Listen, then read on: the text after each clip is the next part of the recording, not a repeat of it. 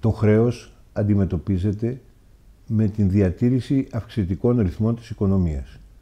Δηλαδή να έχεις πρόσθετο εισόδημα να μπορείς να πληρώνεις τους δανειστές σου. Η αποπληρωμή να γίνεται με πρόσθετο εισόδημα. Εάν το, παίρνουν μέτρα τα οποία μας ρίχνουν στην ύφεση και η ύφεση επιφέρει κι άλλη ύφεση, κι άλλη ύφεση, σωρευτικά και έχουμε φτάσει στο μείον 20, μείον 25%, χάνουμε ικανότητα αποπληρωμής. Είναι εις βάρος των δανειστών. Και μην με ρωτήσετε τη φοβερή ερώτηση και γιατί το κάνουν. Είναι τόσο ηλίθιοι. Η απάντηση θα είναι ναι.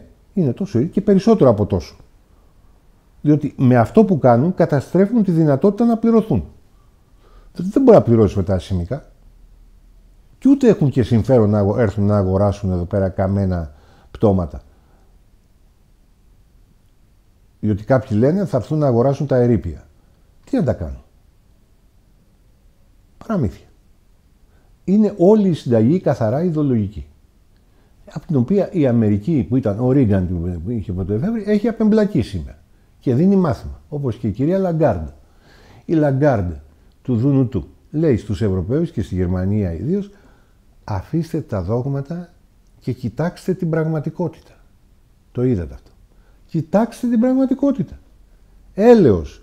Δείτε επιτέλους την πραγματικότητα. Τι δουλειά έχουν οι συμφωνίες του Μάαστριχτ του 1992, το Σύμφωνο Σταθερότητας του 1998 που απαγορεύει να χρηματοδοτούνται κράτη. Επειδή, επειδή έχουμε υπογράψει τέτοιες συνθήκες, γι' αυτό θα βουλιάξουμε, θα σβήσουν οι χώρες η μία μετά την άλλη, επειδή έχουμε υπογράψει αυτές τις συνθήκες. Αφήστε τα δόγματα, αφήστε τις συνθήκες, κοιτάξτε την πραγματικότητα. Λέει η κυρία Λαγκάρντ και ο Ομπάμα. Χρειάζεται να είναι κανείς κάποια σχολής ιδιαίτερης για να το πει αυτό. Και ε, αυτοί όμως που ακολουθούν αυτή την πολιτική στην Ευρώπη είναι της συγκεκριμένης σχολής της φιλελεύθερης και ειδικά της νέου φιλελεύθερη.